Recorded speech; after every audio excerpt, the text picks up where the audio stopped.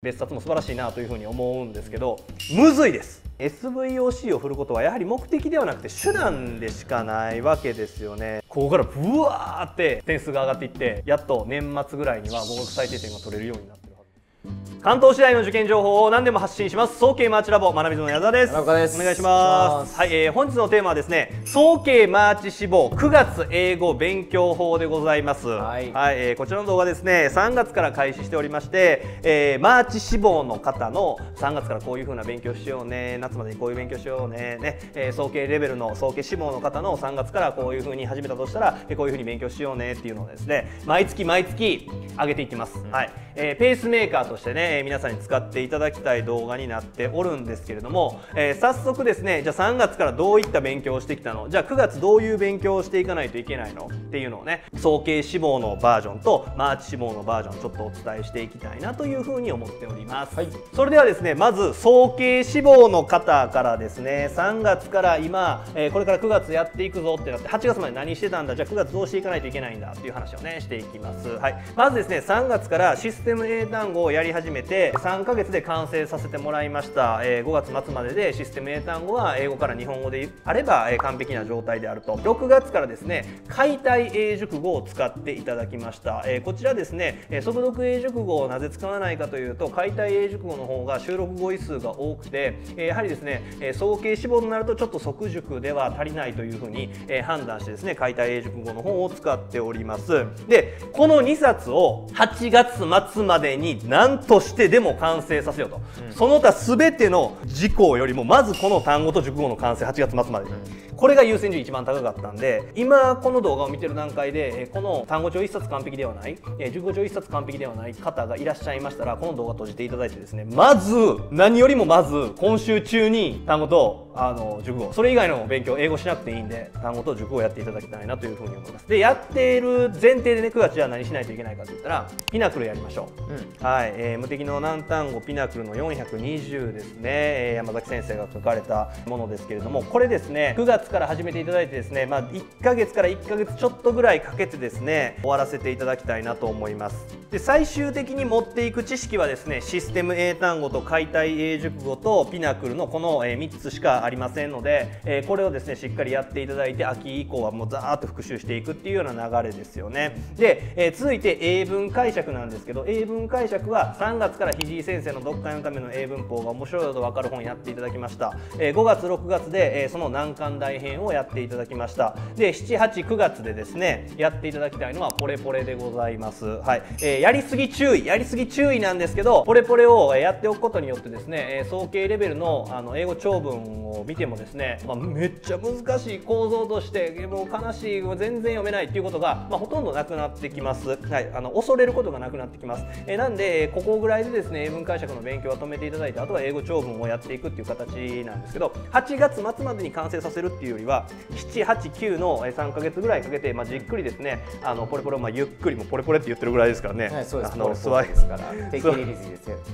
ワヒリ語でゆっくりとっていう意味ですからね、まあ、3か月間ぐらいかけて薄い参考書なんですけど、まあ、ゆっくりやっていただけたらなというふうに思います。9月末まで完成させるっていうよりはあこんな構造の英文もあるんだ。なんか楽しいなって思えたら、えー、十分かなというふうに思いますね、はい、えー、じゃあ続いてですね英文法なんですけど英文法は1か月3月から始めたとしても1か月ずらして4月から英文法を開始していただいておりました。デュアルエフェクトですね。これで単元別で C56 の3か月間かけて単元別の英文法を完成させる、えそしてですね789のこの2か月ちょっとをですねかけてですね竹岡先生の英文法法のアルティメイトをやっていく。でそこでデュアルエフェクトに戻る。そこでデュアルエフェクトに戻るという形でその単元別で1冊を完璧にするのは結局はデュアルエフェクトであるということはね忘れないでください。でですねもうここまで来たらもう英文法それ以上のことが出ないので、えー、あとはですね秋以降ですね過去問演習とかで間接的に文法項目聞かれたらですね戻ってくるようにしましょう。でですね大学によっては直接的な文法ね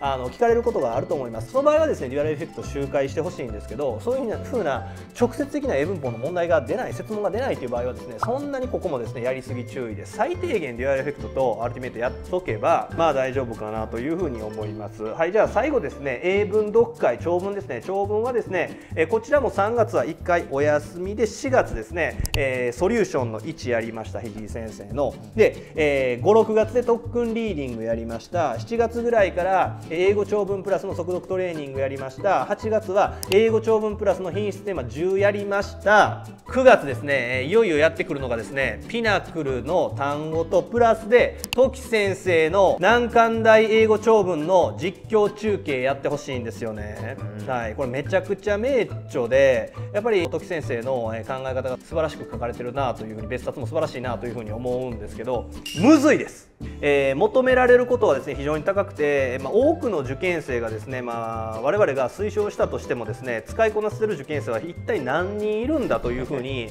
えー、思うぐらい、まあ、難しいんですけどそれはですねやっぱり単語を覚えてない熟語を覚えてない、えー、構造が、えー、あの当たり前のように出てきてない、えー、これ時先生も YouTube であのおっしゃってます、はい、構造なんてもう空気と一緒のようなもんなんだから、え、そんなんもうなんか頑張って振るとかじゃなくてもう空気のような存在でも見えるようになってほしいので呼吸をするかのごとく取れてほしいっていうふうに言ってるんでその状態にない子は時先生の英語力絶対わからないです、はい、その素晴らしさが。はい、なんでその状態にですね8月末までになっている状態の子が取り組んでも良い参考書になっておりますので、えー、ぜひともですね、えー、そこまで、えー、単語覚えてる熟語覚えてる、えー、そして難しい構造も捉えられるそして英文法も完成している英語長文には、えー、大体560代ぐらいには SVOC 完璧に触れるようになったその上でですねやっていただくと非常に効果が高い参考書になりますので、えー、ぜひともトライしてみてください、まあ、推奨の習熟期間はですねもう1ヶ月です9月末までね1ヶ月もかからないんじゃないかな3週間でいいかなというふうに思いますが、えー、大体それぐらいでやってほしいと思います。ここから英語長文の練習ぐわーって増えていくからね、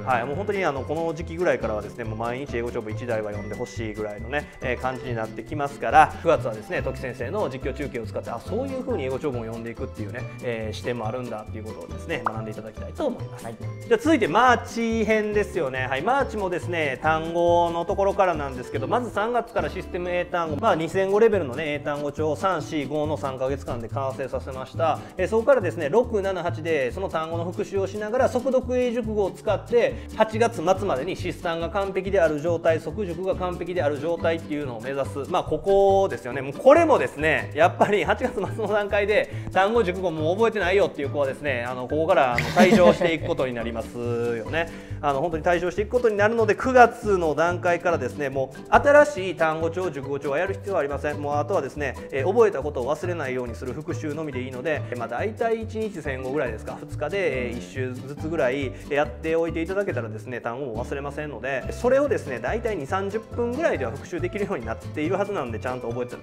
覚えてないことを覚えることはめちゃくちゃ時間かかりますよ。覚えてることを忘れないようにするのは時間かからないんで非常にコスパいいんですよねその復習って、えー、なんで単語忘れないようにですね毎日毎日やっていただきたいと思います、はい、で続いて英文解釈なんですけどこれ8月のね動画でも言ってるんですけど、まあ、ひ先生の読解のための英文法から始めました。であとはですねこれ34月でそれを終わらして567月は新しい英文解釈の参考書をやらずにですね基本的に長文の中で出てくる文に全て SVOC 名詞形容詞副詞のチェックをして、えどんどんどんどんそれを繰り返していくと。で8月でもし英文和訳が出るような大学を出願する場合はですね難関大編もやってもいいかもねぐらいで言っておきました。それがですね9月、まあ、やってたとしても9月末の段階では終わっておいてほしいな。もうそれ以上やらなくていいんでね。マーチ志望だったら。そういうような状況でございます。で、えー、英文法ですね。英文法は7月から6月まででデュアルエフェクトやりました。7月から9月の頭ぐらいまでで竹岡先生のアルティメイトでデュアルエフェクトを完成させていくという形でアルティメイトを使ってね。ね完成させていくっていう感じなんですけどもうこれ以上マーチも英文法やらなくていいですね、ね、最低限がクリアできたというような状況になると思います。なんであとは過去問で演習を積んでいけばいいかなというふうな形なのででも忘れるのもったいないからあの復習はしてねある程度復習はしてほしいんですけどめっちゃ時間はかけなくていいんでね。えそれでは英語長文に入っていきたいんですが、えこれ4月からですねハイパートレーニングのレベル1ソリューションの1特訓リーディングこの3冊を使えばですね大体50代ぐらいには SVOC が振った状態みんな SVOC 振って英語長文の中でねあの SVOC 構造が取れるようになってきたかなぐらいらいのレベルになってると思います。で9月から入っていただきたいのが英語長文プラスの速読トレーニングの問題集でございます、はい、9月にこれが終われば良いです、うん、この先ね10月には英語長文プラスの品質テーマ10の方を、えー、やっていくんですけど、えー、9月末までに終わらせてほしい英語長文の参考書は英語長文プラスの速読トレーニング。これ週にですね3台から4台できるんだったらもう毎日やっていただけたらいいと思うんですけどこれもですねちゃんとですね構造を捉えれる状状態で読んでいってほしいんですよね。ただね英語長文に SVOC を振ることはやはり目的ではなくて手段でしかないわけですよね。なんで SVOC を全部振っていこうという勉強をこれまで特訓リーディングまででしてきました。してきたんですけどここからですね SVOC から徐々に離れていっていただきたいと思います。全てに英文の構造が捉えられなくてもどうしても読みにくいなというところだけ SVOC を振って徐々に離れていってほしいんですよね。書いてなかったとしても SVOC のチェックをしなかったとしても構造が捉えられている状態を目指す。でそれでいよいよ内容を読み解いていくっていうところに進んでいきます、はい、それを意識してですね、えー、9月は取り組んでいただきたいと思います、うん、いよいよですね、秋ですね9月。まだ暑いですけどね。まあまあまあまだまだまだ、はい、まだ暑いんですけどいよいよ9月です、えー、今からね9011と、えー、秋に入ってで121はですねもう直前期となります、えー、ここからですねやっと今まで必死にですね覚えてきたことがですねうわーって花開いていくね、えー、タイミングになりますので基礎基本を徹底せよというのはですねそういうことなんですけどそこをですね徹底してきてた子はここからですね、えー、我らの言う通りにやってくれているとしたらここからブワーって点数が上がっていってやっと年末ぐらいには合格最低点が取れるようになってるはずです。そうですね、はい、7月8月頑張ったとてまだちょっと気は抜かないでほしいですね。そ、ね、そこはみんな頑張るのでそうですね、えー、9月以降また、えー、力を入れ直していただければいいかなと思いますね。それでいて合格最低点出る年末ですよ、ね、大学受験厳しい時期ですよね。はい、その年末までにねこの年内に3科目とか、えー、自分の必要な受験科目でですね合格最低点が出ていればまあまあまあ問題ないその、えー、ためにですね勉強計画僕ら、えー、年内に出るような勉強計画を作っていますので、えこれをですね、え参考に、えー、ぜひとも自分の勉強計画に役立てていただければなというふうに思います。はい、はい、もしねあの今の勉強計画が自分がちょっと満足してないという方はですねあの受験相談受け付けておりますので皆さん受けに来てくれたらいいかなというふうに思います。あのオンラインでもね全国から受け入れるようになっておりますのでまたそちらはですねマナビズムのホームページからお申し込みいただければと思います。それでは今回の動画はここまでにしたいと思います。ありがとうございました。